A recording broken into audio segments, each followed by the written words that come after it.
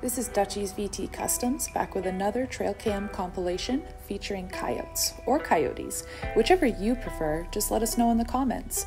And remember to like and subscribe to our channel and keep an eye out for a special coyote we really hope to see more of.